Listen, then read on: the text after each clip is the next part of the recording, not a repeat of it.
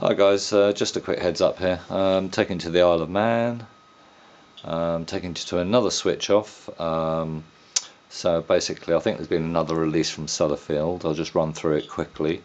Um, I was having a look at this one. The earlier switch off that happened in England that I caught has been smoothed over, so it doesn't look like there's been a, a gap or anything left, like there, there is here at the moment. A bit later on, all the data points will be put back in and any spikes will be taken out. So you won't be able to tell that there's been radon clouds passing by.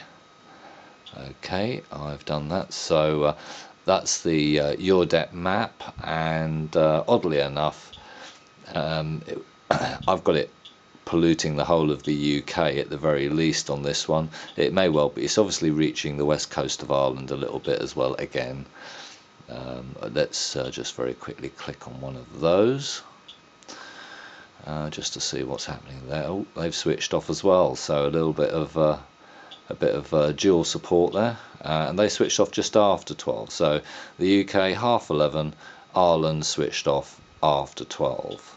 Okay, uh, and that's uh, Clonskeagh, Ireland. So anyway, you can play around with this. I'm going to leave links and things for all these lot and uh, you can uh, play around with your heart's content.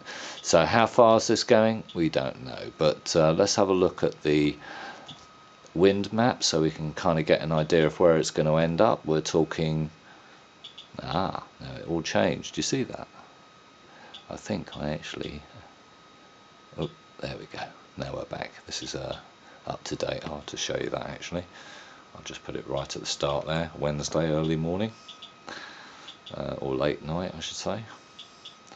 So we can see there's uh, high and low pressures all over the British Isles, Ireland, um, all the way down to the north of France, into Netherlands possibly, uh, yeah, and probably stretching into Germany as well.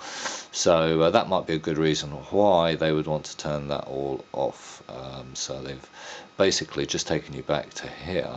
Um, I just wanted to show you. I've got it on two days at the moment. I'm going to take it back to one day just to show you that for the last 24 hours on EURDEP they've been clever.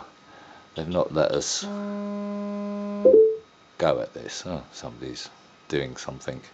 Anyway so uh, they've turned off the EURDEP mapping as you can see there. Um, and what drew me onto this in the first place was um, a very useful um, London mapping thing. That they also have it mapped out and you can see there and I'm going to just it's a bit two different color shades of red. Uh, the darker red is 8 on a scale of up to 10 uh, and that's from Sellafield all the way down to Birmingham. Most of the uh, west of England and I would imagine France and wherever.